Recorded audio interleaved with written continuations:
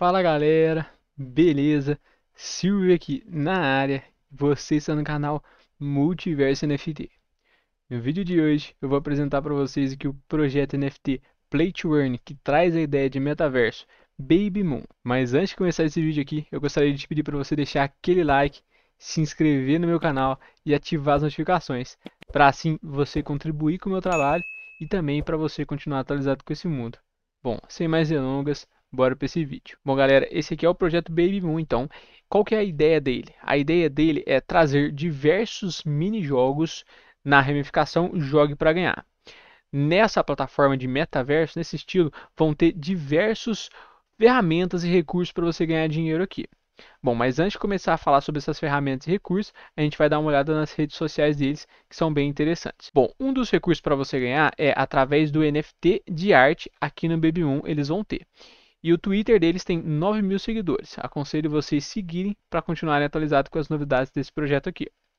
No Telegram deles, a gente tem um grupo que é brasileiro, que tem apenas 120 membros, porém ele é bem ativo. E vocês podem ver que as pessoas aqui estão direto mandando mensagem por aqui. Além disso, no Facebook deles, saiu um, uma prévia né, do trailerzinho de como é que seria o primeiro minijogo que chamaria Baby Moon Go. Lembra muito Mario, né, galera? O joguinho aqui de corridinha. Bom, como eu falei para vocês, vão ter diversos recursos na plataforma. Um deles, também além do NFT de arte, é o modo staking. Esse modo staking ele é importante para não deixar a moeda derreter tanto valor, além de render também para quem holda a moeda. Além disso, aqui dentro desse metaverso, a gente vai ter o marketplace, onde as pessoas vão poder comercializar os seus NFTs.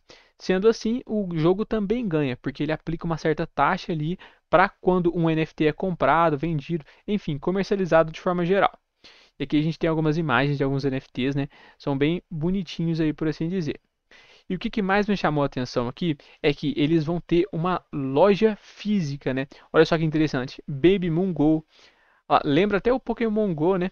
Olha só, a camiseta do, do carinha aqui com duas imagens aqui de NFTs. How Much Care, é, camiseta bem feita, um logo aqui, um adesivo, né, para o notebook. Aqui um adesivo para almofada. Então ficou realmente muito bem feito nesse sentido o projeto. Mas maravilha, bora analisar aqui com o que interessa. Ó, o Enlamble, esse aqui é o gráfico, o design está muito bem feito tranquilo, to the moon. Bom, aqui no começo do site eles já falam: Baby Mons são monstros bebês fofos, dos quais você pode coletar NFTs e cartões comerciais, e em breve poderá interpretar seus personagens escolhidos nos próximos NFT Play to Earn Games e no Baby Moon Metaverse. Bom, aqui são algumas imagens de alguns NFTs que a gente vai ter, né? Esse ursinho, dinossauro, Dragãozinho, Dragão 2, Dragão 3, bem fofinhos aí, e tem outros aí para ser lançados também. A gente vai ter os mini jogos, eles não estão funcionando no momento. A gente viu uma prévia ali no Facebook que eu mostrei para vocês, e aqui tem a coleção de NFT que também não está disponível no momento. Basicamente seria um token pro metaverso todo.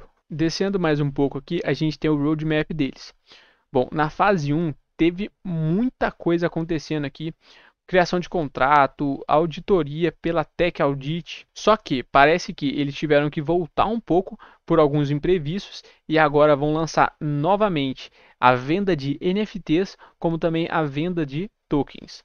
E na fase 2 eles esperam alcançar 5 mil holders e vamos ter já logo o primeiro Play to Earn minigame. Além disso, vamos ter também o drop da segunda coleção de NFTs, vamos ter as listagens também em CoinMarketCap e também na CoinGecko. A gente vai ter giveaways e a gente vai ter também competições para incentivar a nossa comunidade a engajar com o projeto. Na verdade, galera, é só na fase 3 que a gente vai ter o primeiro jogo público. Parece que aqui é um game alpha, né? Ou seja, não vai ser liberado para todos, apenas para quem participar nas pré-sales aqui. Na fase 3 a gente vai ter também o desenvolvimento do jogo 2 e do jogo 3, além do início no metaverso e também do staking. Na fase 4 é que a gente vai ter a integração do jogo no metaverso.